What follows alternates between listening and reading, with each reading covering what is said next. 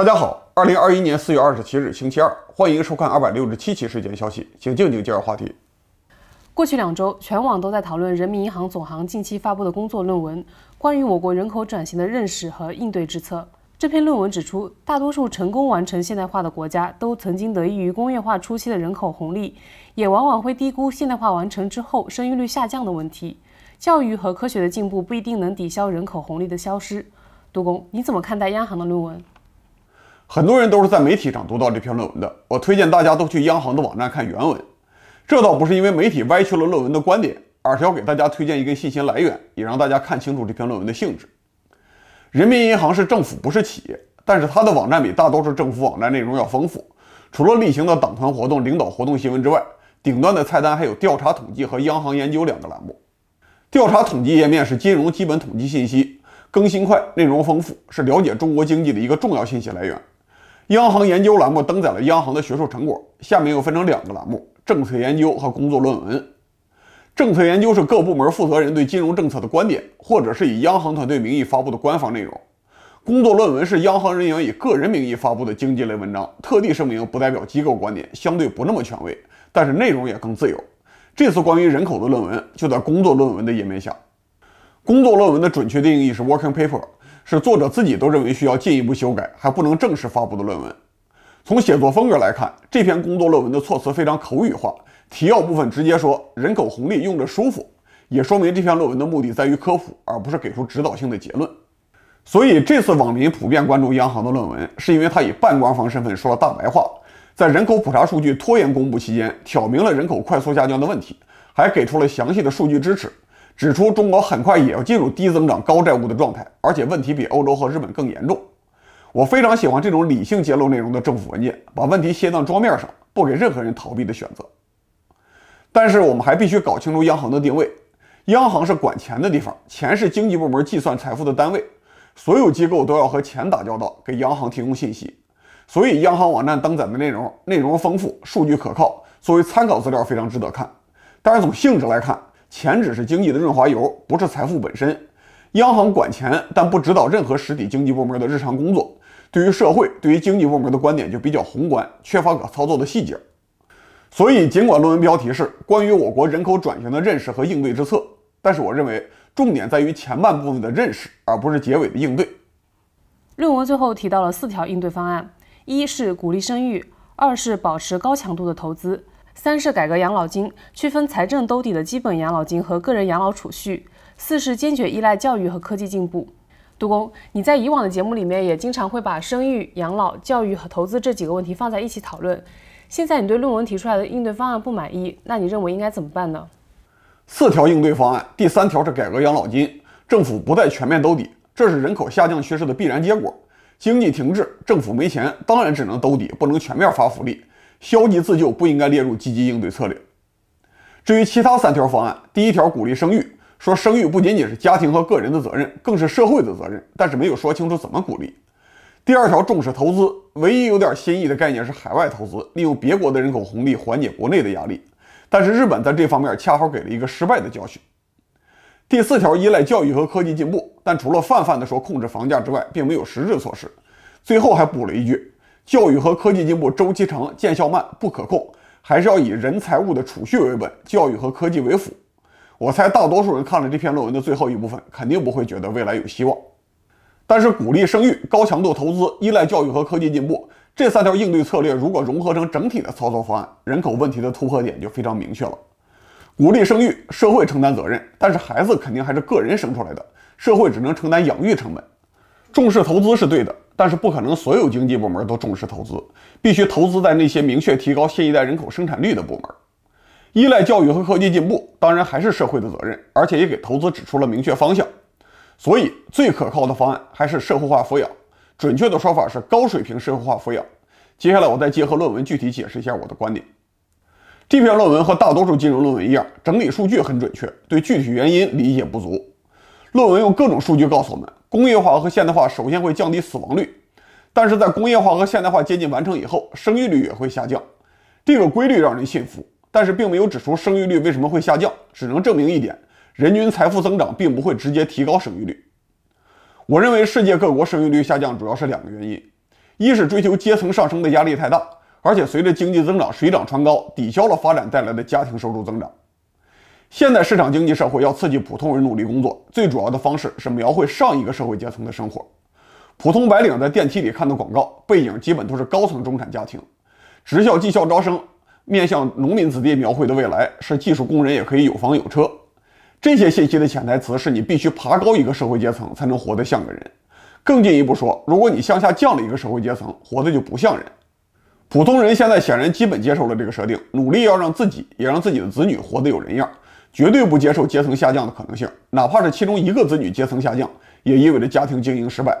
所以，除非是社会顶层和最底层，所有其他的家庭都拼尽全力培养少数子女，买学区房、读培训班、上私立学校，耗尽自己的收入和精力，当然不会有多生的想法。第二个原因是，现代社会普通人的收入提升了，闲暇时间也更长，可选择的娱乐方式越来越多，比如说阅读、游戏、烟酒、旅游、运动、社交、电影。这些相对削弱了婚姻和陪伴孩子的吸引力。二十世纪的历史已经证明，电力和电视机的普及在任何地方都会打击生育率。我们从猴子祖先继承的原始繁衍本能已经敌不过现代娱乐工业了。这两个因素往往还会相互结合。现代娱乐产品往往会潜移默化地宣传更高阶层的生活方式，而父母辅导孩子写作业、拼培训班、买学区房，也减少了家庭亲情和育儿乐趣，相对提高了电子游戏和电影的吸引力。随着普通人收入水平提升，这两个因素的影响力都会加强，结合会越来越紧密，所以生育率会快速下降。我们必须为这个现实设计一套应对方案。所谓高标准的社会化抚养，首先是政府提高税率，尤其要向私立教育产业征收更高的税，增加公立教师的工资，扩大教师规模，雇佣更多的保育员、健身教练和心理咨询师，照顾未成年人的身心健康。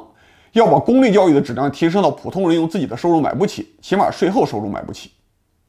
同时，公立学校要延长未成年人在学校的生活时间，不需要也不允许普通人用自己的收入去明显改变子女的学习成绩，这样才能让普通人觉得多生孩子不会增加负担，少生孩子反而意味着缴税去养别人的孩子，生育愿望就自然提升了，至少可以缓解阶层焦虑影响生育的问题。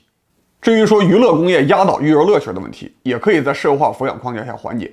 我猜，没有谁生孩子之前就向往着天天送他去辅导班，回来还有检查作业的生活。如果不用辅导作业，不用为了学习成绩而争吵乃至于体罚，不用发愁培训班的学费，也不要求子女为了自己的付出感恩，父母和子女的关系可以更纯粹一些，把更多的时间用来聊天、散步、做游戏、分享人生经历，提升亲情，孩子给家庭带来的乐趣也就自然提高了。就算因此延长在校时间，也并不意味着把父母和孩子隔开，反而可以频繁邀请父母到学校参与未成年人的活动，让父母更了解自己的子女。现在很多家长，包括我。都愿意花钱去参加亲子活动，将来应该由公立教育满足这类需求。社会化抚养是个新东西，全面推行必然加强对家庭生活的干预，比如说越过父母监测儿童心理健康水平，剥夺不合格父母的家庭抚养权，甚至不允许父母替子女做全面的升学决定。这些政策肯定会让很多人感觉到威胁，本能的反对新事物，说这打破了传统。但是普遍的亲情本来也不是人类社会的传统。这篇论文提到过。农业社会的特色是高出生率、高死亡率，同时也伴随着婴儿的高死亡率。在大多数平民父母看来，生孩子是风险投资，养孩子是为了家族利益和养老。具体一个孩子的幸福和家族整体血脉的传承相比，不值一提。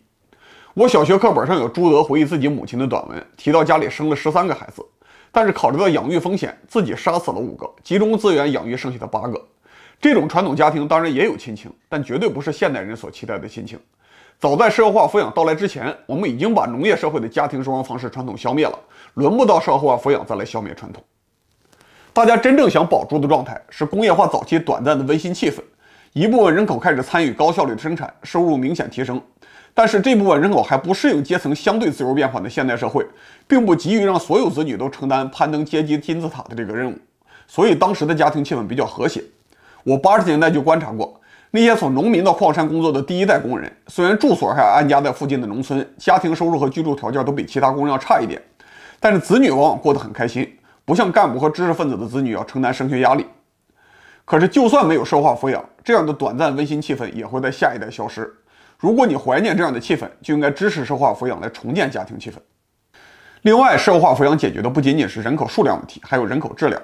人类的基因本能让我们尽量善待子女，让我们关心子女的健康。但是并不足以让我们在工业社会当一个好父母，培养一个符合现代社会需求的预备公民。社会化抚养弥补了家庭教育的不足，可以提高未来整体的劳动力素质，减少社会化摩擦。就算人口不能立刻稳住，我们也可以用较少的劳动力保持经济增长。从这次央行论文揭露的严重局势来看，社会化抚养并不是超前想法，而是一个来得太迟的政策。现在就应该选一两个地级市搞全面的试点，为几年后全国推广积累经验和教训。央行的人口论文引发全社会关注，还有一个原因，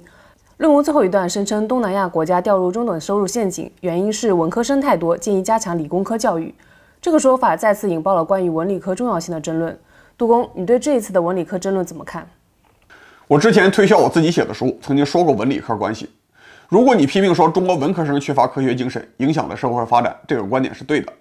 但如果说现在的教育模式下，理科生多了就能解决这个问题，那观点就是错的。因为中国的文科生和理科生都普遍缺乏科学精神，在自己的专业之外，都应该接受全面的科学通识教育。当时我举例说，上海张江地铁站是中国电子工程师最密集的地方，但是，一度地铁站附近摆了无数地摊，卖的最好的小商品就是所谓吸收辐射的仙人掌。更可怕的是，有人单纯用文科生缺乏科学素养说事儿，建议用理工科教育代表大学教育，全面压制文科，也就是社会学的发展。我二零一九年观视频年终秀有一个演讲，说歧视文科乃至于取消文科，本质上是极端的保守主义，希望禁止任何人分析社会的问题，在静态的社会制度下发展生产力。只要对马克思主义的唯物主义历史观稍有了解，就不会看上这种说法。上一个这样做的国家是二战时期的军国主义日本，一个对外侵略、对内残酷镇压、把自己玩死的国家。现在的中国互联网上有人鼓吹用理工科压制文科，中国人应该对这种观点抱有警惕。文科、理科都带一个科字，直观理解是科目的意思，把我们的知识分成截然不同的两类。但是我们也不要忘了，科字同时也有科学的意思。文科、理科都是科学，都要用实证来支撑观点，都要用数学来提供量化结论。区别只在于文科更关心于社会和思想，理科更关心物质和实体结构。所以我建议，在正式讨论问题的时候，还是不要用文科、理科这种带有19世纪洋务运动色彩的口语词，直接可以说社会科学、自然科学、工程技术，这比较明确。客观来说，我们对物质的实验多，数据多，所以自然科学和工程技术方面的数学工具比较成熟，量化结论比较明确。我们对人心的了解少，不能拿人类做太多实验，所以社会科学方面的数学工具要比较粗糙，量化结论比较少。但是这绝不是歧视社会科学的理由，恰恰说明我们需要大力发展社会科学，才能配上自然科学和工程技术的进步。明天清华大学就要举办2021年计算社会科学国际会议，大家可以网上旁听，更新一下对社会科学的看法。更何况现在很多学科越来越交叉化发展，很多传统上被归为理工科的东西，需要考虑大量人文因素，比如说交通工程、建筑学，如果只按照书本上的公式计算，一定满足不了现代城市的需求。十几年之前。我在苏州设计交叉口标线的时候，就为了通行权和安全问题，和同事讨论伦理问题。以后生物学、AI 技术、航天技术越来越发达，人类可能每天都会和智能设备打交道，在其他星球上组织全新的社会。就算是纯粹的工程师，也不可能只具备理工科知识，否则连产品经理都不屑于和你讨论问题。所以，我认为，随着平均受教育年限的增长，总的教育改革方向应该是大学教育转向双专业教育。绝大多数人都应该同时具备社会科学的学位和自然科学学位，具备基本的数学建模能力，对整个科学体系有概括性的了解，能用科学思维去考虑社会问题，这样才能支撑中国社会继续前进。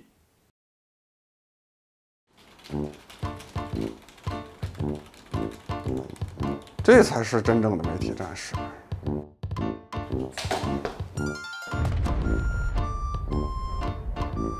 回家喽。真正的媒体战士需要优秀的装备，我这就给你买苹果高配 iMac。哎呀，苹果高配太贵了，算了算了算了。别怕，拼多多的百亿补贴还在继续。苹果春季发布会以后，苹果全系产品又降价了。苹果 iMac 二十七寸一体机，官方补贴七百九十九元，现在只要一万三千一百元。还有 iPhone 十二，最高补贴一千三百元，现在只要四千九百九十九元，让你随时随地有灵感就能写。现在打开拼多多，搜索二二二零，就能进入百亿补贴专区购买。老板，你下单，明天就到。现在下载拼多多，搜索二二二零，或者直接点击视频左下方链接，点击领取补贴，即可跳转进入百亿补贴的活动页面。活动商品都是大牌儿，比如说苹果、戴森，在百亿补贴页面顶端可以直接进入苹果补贴专场。不仅仅是数码产品、潮鞋、服装、美食，各种好物都可以在百亿补贴内搜索看一下。拼多多承诺，所有活动商品假一赔十。好，感谢老铁拼多多为睡前消息提供的支持，我们彼此加油，争取先做个一千期节目。静静介绍下一个话题。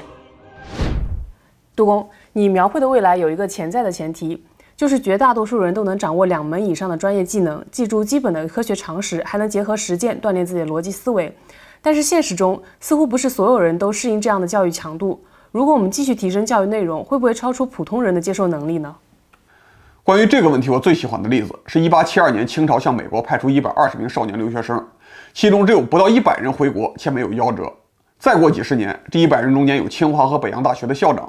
有交通大学的创始人，有内阁总理、外交部长、交通部长，还有海军元帅以及一大批牺牲在甲午战争的精华军官。詹天佑在其中都不算非常拔尖的人物。但是从出身来看，第一百二十人大多数普通农民子弟，甚至在一定程度上是被中国家庭抛弃的孩子。因为当时中国上层社会普遍对去西方有恐惧心理，不希望自己的优秀后代放弃科举，穿越大洋去学习未知的东西。所以这次留学的主持人荣宏连哄带骗，许诺了报酬，才召集到一百二十人，其中八十三个人是广东老乡，三十九个人是荣宏在香山县依靠个人关系才带走的孩子。从起点来说，他们并不比现在一所普通乡村小学的学生更高。少年留美学生之所以能有后来的成就，是因为他们接受了几年全世界最先进的教育。回国以后又遇到中国的现代化浪潮，得到了充分的实践和试错机会，所以从政就是国家重臣，搞研究就是学科创始人，从军就是能决定国家命运的高级将领。我不是说所有人都必须有这样的成就，但是从第一批留美学生的选拔机制看，绝大多数人只要有恰当的教育，都可以成为出色的人才，不比史书上那些留名的大人物差多少。人与人的区别，主要还在于外部环境，而不是天生的基因差异。如果通过提高投入，让社会化抚养能够补足大多数家庭教育的不足，我毫不怀疑大多数人能够达到现在大多数优秀人才能够达到的水平。我这个观点很大程度上也来自我读书时候的经历。九十年代，我在没有电灯的小学读过书，中心校的六年级接近二百人，一半直接辍学打工，另外一半在附近的初中读几年再打工，只有四五个人有机会去镇上读中学，而且大多数也会为了早就业而读中专，最后读大学的只有一两个。我比大多数同学要幸运，来到上海读大学，还追上了网络自媒体风口的尾巴。和这些农村同学相比，我的智力、毅力和好奇心方面并没有什么优势，只是比他们多读了几本课外书。小学毕业直接被父母带到县城读书而已。所以，全面推行社会化抚养，加大教育方面的投资，从幼儿园开始全面关怀每一个人的身心健康，激发每个人的潜力，一定会给中国带来科幻级的劳动力水平，创造出我们今天想象不到的经济发展模式。所有现在的经济难题，在未来的发展面前都不值一提。上周，中科院一位博士发了毕业论文，致谢部分在网上流传，登上了热搜榜，提到了他在煤油灯下写作业，用竹笋壳堵住漏水的房顶，靠亲戚朋友接济才能读到大学。我看了这个新闻，看了他的致谢，发现我身边类似的人也不少，很多都是在最落后的山村，靠个人努力走进现代社会，成为各行各业的骨干力量。但是这样的经历恰恰说明，有无数运气不好的孩子，肯定因为父母或者社会因素，很早就丢掉了全面发展的机会。在现代经济发达的城市，我也见过太多的孩子因为父母的因素和同龄人的发展脱节，然后再也没有办法融入主流社会。就算没有人口危机，当代中国也需要社会化抚养来解决这些问题。所以，教育应该是我们下一阶段的投资重点。师范院校必须吸纳中国最优秀的人才，教师的工资应该是工薪阶层的最高一档。每个中小学习班级都需要配上专职的健身教练和心理辅导员，